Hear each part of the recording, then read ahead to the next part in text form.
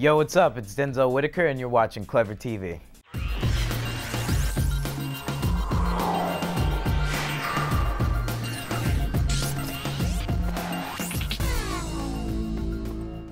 Hey guys, what's up? Welcome back to Clevver TV. I'm Dana Ward with Joslyn Davis. Hello. And we have Denzel Whitaker in the house. Hey, what's up? How's it going? Welcome, welcome. Thank you. All right, so we are diving right into this. My let's it. soul to take. It's perfect timing, really. Scary movie, October, yeah. Right, of being course. Halloween month. 3D movie with Wes Craven. Insane. It's Tell us exciting. about it.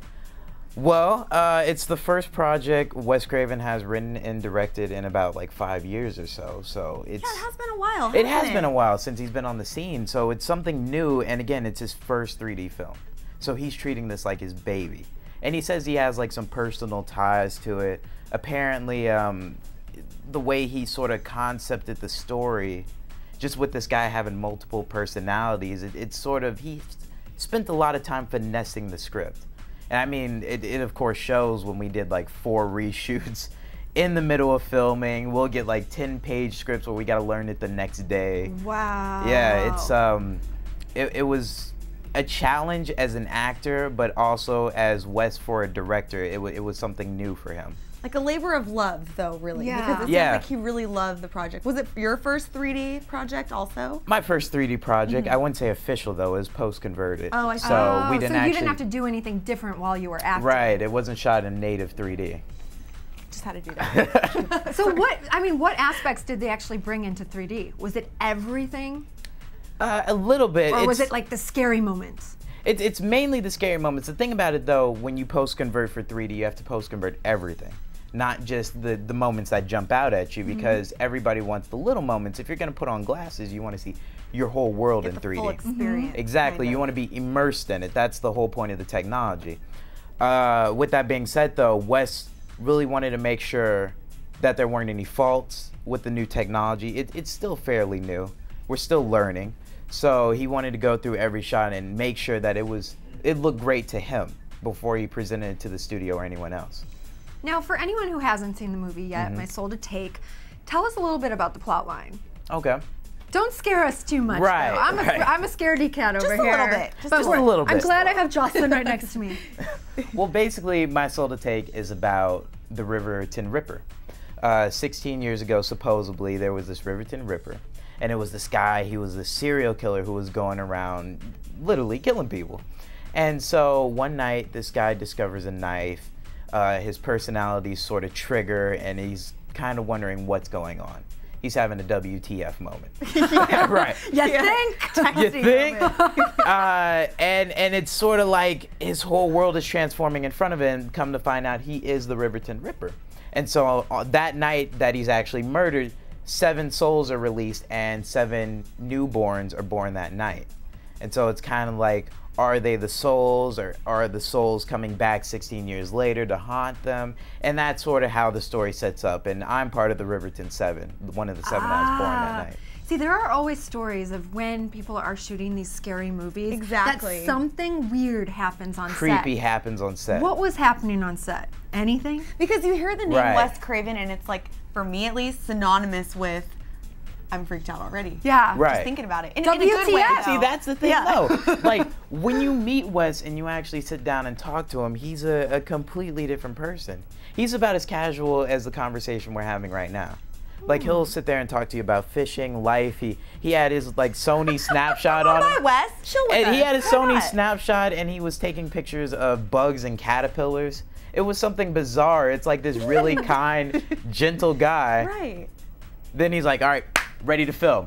Now, Chop I want you to get heads." axed in the scene. I want you to get cut open and your blood and guts ripped out. And it's like, where did that come from? You know?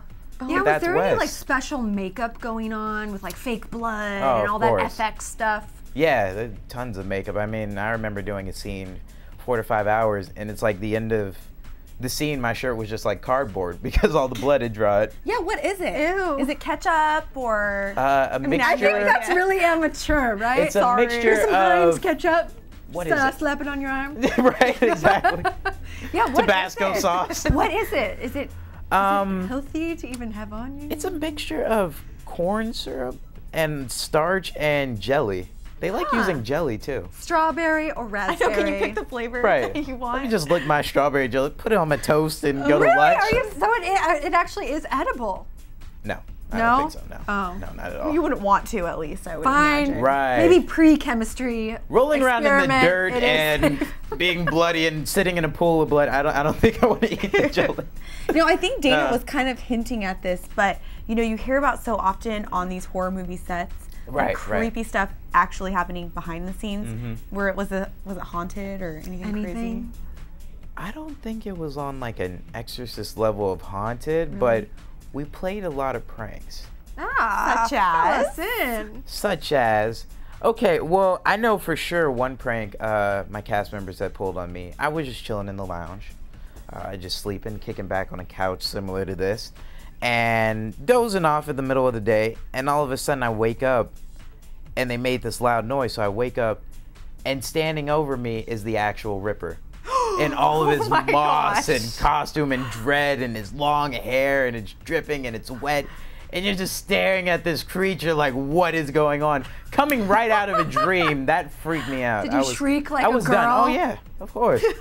I mean it was like No what, do, what do you expect? I have no shame at all. This literally a monster in front of me. What am i gonna do? Oh my know? gosh. What What is it about scary movies that you think makes the viewers like love them? Like you love to hate them, you Right. hate to love them. What is it about scary movies? uncertainty. It's that rush. It's kind of like when you hop on a Adrenaline, roller kind coaster. of. Exactly, adrenaline junkies. Um, but it's in a different sense. It's sort of like it's it's more less adrenaline, more thrill. In a sense, like less you're not getting the full effects, but it's something quickly enough to, to satisfy you in a way. It's sort of like that quick jump that makes you like, oh, okay. But wait, I'm in my movie theater seat. Okay, I'm calm. I'm cool. You know what I'm saying? cool, I'm I'm cool. cool. I'm cool. deal. I'm keeping it cool. Wait, wait. Oh no. Yeah. Well, this movie comes out perfect time for Halloween. Right. Um, do you have any plans? Do you plan yet. ahead? Last minute? I am so last minute. I keep it cash. Um, it's like where the party's at for me. Trick or treating's done, so it's kind of like uh, I just like to have fun on Halloween. It's like any other day. I treat it as a last minute thing and see how it goes. I think you should borrow the costume from uh, movie. oh, the Ripper. And The be Ripper, the Ripper. right? Show up in the. Ripper costume. Except I totally freaked Got to be a little bit taller out. though. He he was kind of tall. a big guy. Stilts. was- That's what they're for. He's intimidating. He's No, like massive. No massive. big deal. Maybe you guys should give him some comments below and let him know what you think he should dress as. Right. Let me know. Last question: What is your favorite scary movie, other than My Soul to Take? Of, Of course. Right. Uh. Um, favorite scary movie, and this wasn't too much of a scary movie, but I like the philosophy behind it. Twenty Eight Days Later. Oh my gosh, that's the scariest movie. Do you have a zombie, do you have a zombie apocalypse plan? Like, if the zombie apocalypse happens, where are you going to be? Because I know where I'm going to be. Zombie Where? apocalypse? The so if I'm a zombie, I'll come get the you. Walmart parking lot. I'll be there. You guys can come meet me. Right. I'll take care of you. Um, Where will you be? Where will I be? I am giving a free invitation to my crib because one of the things about my zombie apocalypse crib is that we will board that place up and we have food. Like honestly, we've stocked up shelves of food for days. We have so many freezers in my house, it's ridiculous. So it's kind of like we're gonna be good for a gonna little be bit. set. You'll be we're gonna be set. And then, of course, we're gonna do one of those strange, crazy scenes where we build up a car and we go run over everything and Yeah. search for food, and then search for the last gas station just so we can travel across the, the nation, seeing who's left. I can't tell you, like seriously, that's the scariest movie I've ever seen. Really? I, enjoyed had it. anxiety for two weeks. Okay. 28 days a, a really, a really scary movie that sort of freaked me out uh, was Strangers. Oh, Strangers was really creepy. freaked me out. Yeah. because it could really happen. Right. It was kind of like that was the one actual scary movie that was like, okay, this could really happen in my own place, in my own crib, and in some desolate area back in the woods. Yeah. It was. I mean, it could happen Creepy. right now. Like we could get a knock on our lounge door, and it could be the strangers. Just a crazy person. Right, but it's the it's the the three of us against them. You know, we'll be good. Yeah. We've got it. Right, Yeah. we got Not it. We got it. Concerned. wow, I am officially freaked out. What about you, Joslyn? Always. All right, Denzel Whitaker.